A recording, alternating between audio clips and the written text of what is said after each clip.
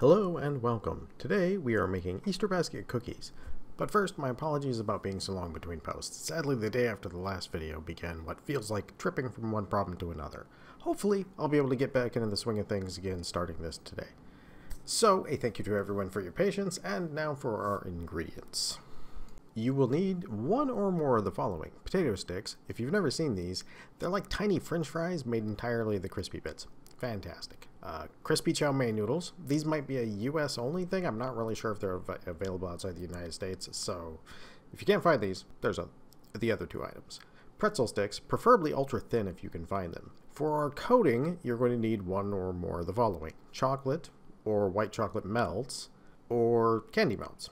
You don't want to use normal chocolate for these, and I'll explain why in a moment. And for those who live in the more hot areas, the candy melts is probably the best way to go so it doesn't melt if you have to be outside. And we'll also be using some cupcake cups to essentially form them and make sure we get the right size on them. Now, to show you why we don't want to use real chocolate, I melted about a quarter of a bar of dark chocolate so we can compare what the look and texture are before and after melting.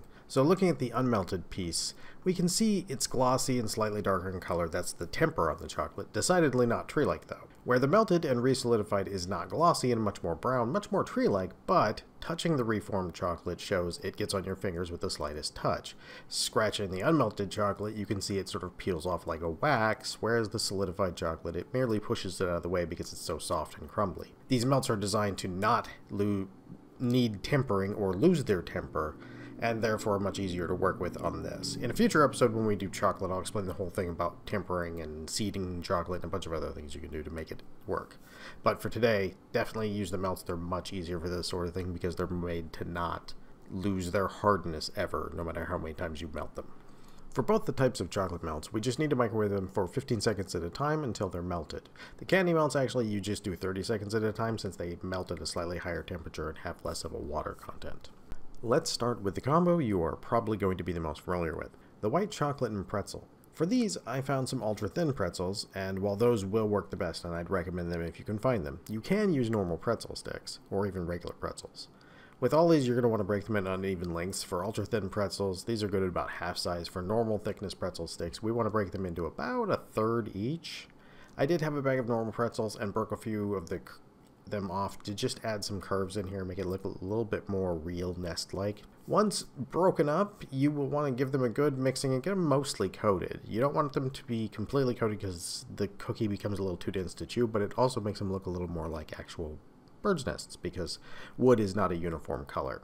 From there, we just want to drop them in a cupcake cup, form a hole in the center when you get towards the end, and you have everything inside. Just use your fingers to kind of move it around and make sure you got them in the right place and then into the refrigerator or on the counter they can cool. Just you want to make sure they get cooled off all the way down to room temperature.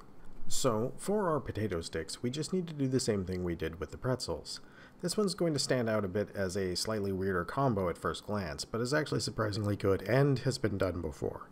The salty, crispy french fry potato chip taste is complemented very well by chocolate. Lay's themselves had a chocolate covered potato chip for a while.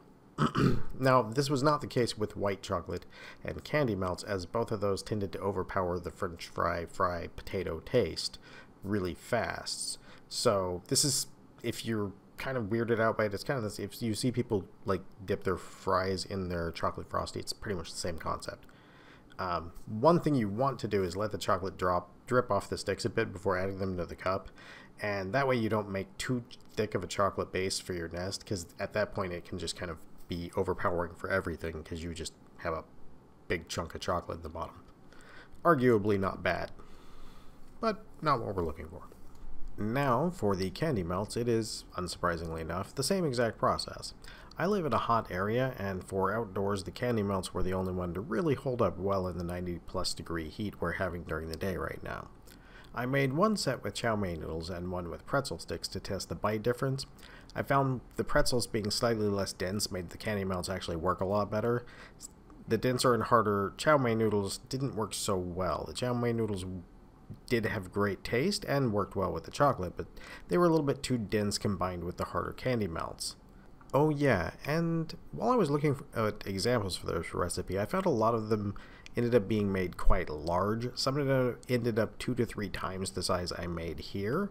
And from all our testing, pretty much everyone, everyone agreed they were way too much for one sitting, and the smaller form factor here worked out a lot better. And with that, we have our bird's egg nests all ready to go. Decorate with candy eggs and you are good to go. I tried everything from jelly bean eggs to larger chocolate eggs just for variety and some laughs. Some of them even look like they had like ostrich eggs in them. They're a nice treat for Easter and can quick, look quite nice, plus using the melts like we did here means no chocolate covered hands and fingers. Okay, maybe not no, but a lot less chocolate covered hands and fingers. So that's something. So, for all those still here, thank you all for all your support and time. It means the world to me in the last few months. It really helped me keep in a positive headspace during some hard times. And if you've not already subscribed, please do for more videos like this and hopefully a little bit less time between them. So, as always, I hope you have a great meal and a great day.